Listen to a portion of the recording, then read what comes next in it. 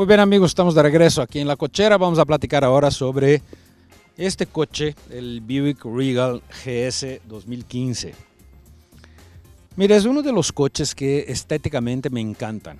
Me parece muy bonito el auto, la línea de, de Buick en general me gusta mucho. Y yo creo que este en particular es el que más me gusta.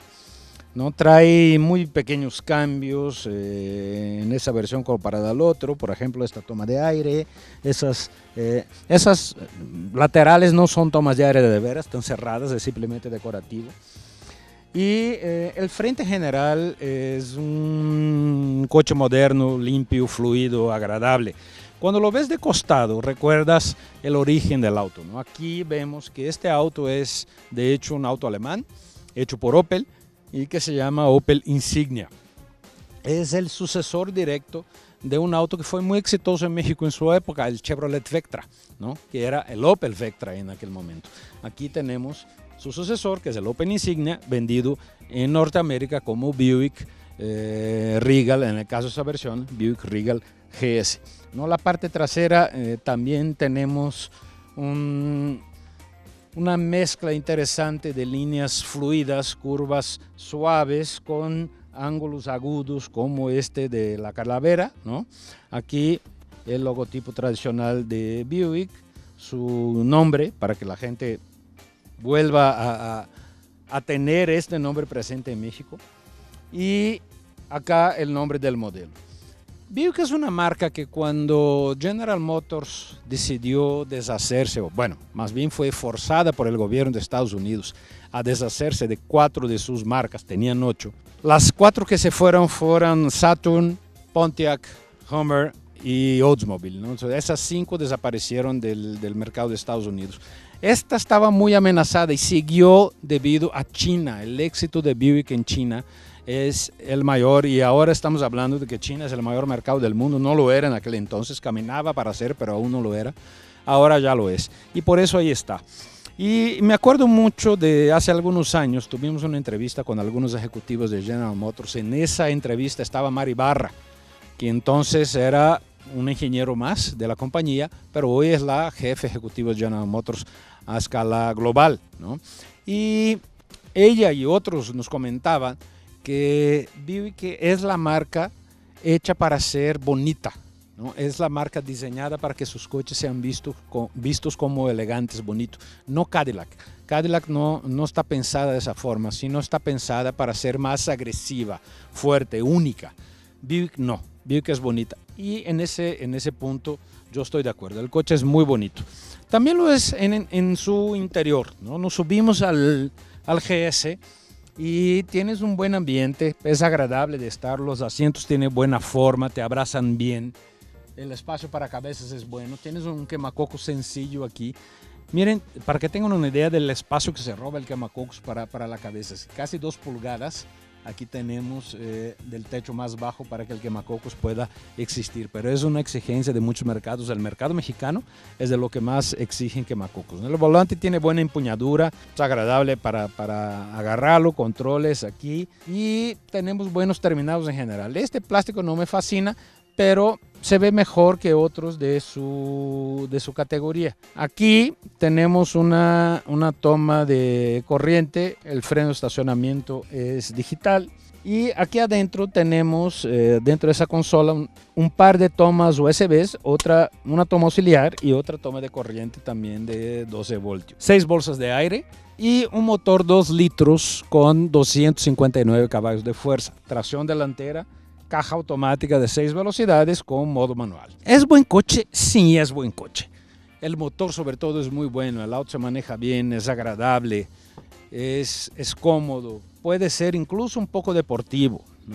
El espacio trasero es bueno a secas. Yo, yo, me siento muy alto y para la cabeza, mire, el espacio realmente queda chico. Lo ideal es que tengas por lo menos esto arriba de tu cabeza y no lo tengo aquí. La base del asiento es muy alta. Y esto está bien para que mis piernas no se apunten muy hacia arriba. Mientras más hacia arriba se apuntan las piernas, eh, más rápido te cansas en trayectos largos. Pero fuera de eso, pues está más o menos bien. Si no mides más de un metro ochenta, debes caber aquí. Es sin problemas. Aquí hay una toma de corriente de 110 voltios, salida de aire, lo que está muy bien. El detalle de ese coche es, más que un detalle del coche, es una decisión de, General Motors con la que no estoy muy de acuerdo.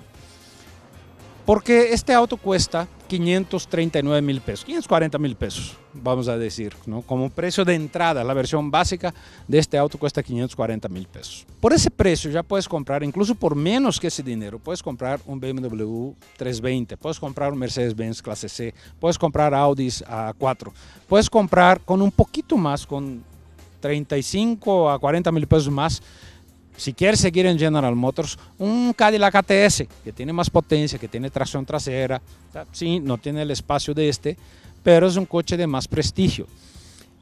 Y ahí es el detalle, ahí como diría Cantinflas es donde está el detalle, porque francamente pagarías por un Buick más que por un BMW Entiendo que este tiene 259 caballos con un motor 2 litros, mientras que el BMW 320 tiene 184 caballos por un, con un motor eh, también de 4 cilindros turbo. Este también es turbo.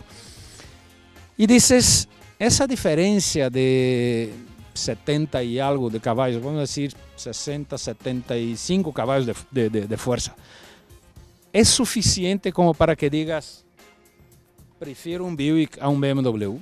En términos de prestigio, estoy seguro que no. O sea, por más que General Motors quiera poner a Buick al mismo nivel de Mercedes, Audi y BMW, yo no creo que el mercado vea de esa manera. Tal vez en China, pero fuera de China no lo creo. Mucho menos en Norteamérica. Eh, en segundo, no es solo la diferencia de potencia, es también el hecho de que tienes tracción trasera y tienes un mucho mejor aplomo que aquel. Estoy seguro, ya, ya manejé los dos no lado a lado, pero estoy seguro que si los pongo lado a lado y empiezo a entrar en curvas, voy a llegar primero en un Serie 3, voy a llegar antes en un Clase C, voy a llegar, tal vez ahí la, lucha sea un poquito más pareja en un Audi A4, pero aún así creo que ese es un coche más caro de lo que debería. Si costara 80 mil pesos menos, alrededor de 450, y competiera contra Accord, contra Fusion, contra Peugeot 508, etc. Este era un coche con muchas ventajas. Quiten el logotipo Buick, pongan el Opel como estaba antes y es un gran coche como Buick, compitiendo contra los alemanes premium, francamente no lo creo. Vamos a un corte y regresamos para platicar del Ford Mustang convertible.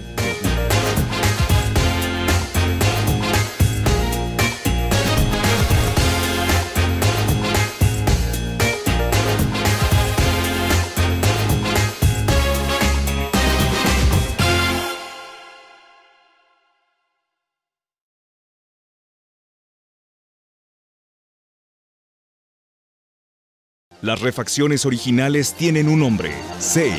Gana en precio, gana en calidad, gana en seguridad. Safe es la casa de las refacciones originales para tu auto y sprinter. Ahorra en refacciones originales. Gana, gana, gana. Entrega al siguiente día en toda la República. Safe